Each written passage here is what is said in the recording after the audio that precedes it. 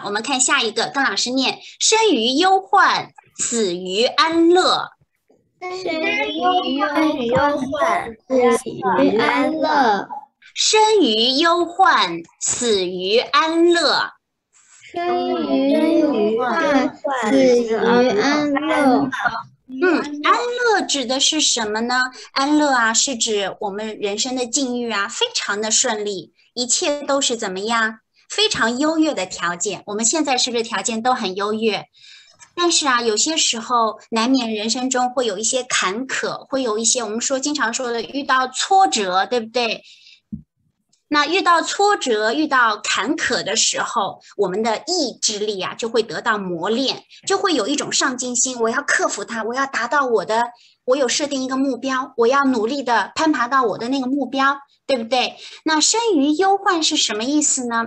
往往啊，在这种艰苦的环境之下，有一种忧患意识，会让自己不停的努力，不停的前进。但是呢，如果环境很优越，就会怎么样？意志啊，就会很薄弱。意志一旦薄弱了之后啊，就很少会有那一股劲，要怎么样？要达到自己想去的地方。所以我们说，生于忧患，死于安乐。有同学看到这个漫画了吗？这只小青蛙它在做什么？在在里头水里。啊，在一个温水里，这个温水下面，这个锅子下面，然然不是温水，这是烫水啊，这是烫水。我们先看一下他的表情，他是怡然自得的，非常舒适的躺在那儿，还是很紧张的？当然舒适呀，很舒适，对不对？那如果是滚烫的水里面，他会很舒适吗？不会啊，不会。不会。但是我有一次听到一个故事，就是青蛙本来。是挺舒服的，他们一点一点加温度，后来那青蛙就被煮熟了，所以一点一点它就注意不到。嗯，哎呀，云肉总结的太好了，说出了老师想说的。大家看到没有？这个锅子下说的也是的。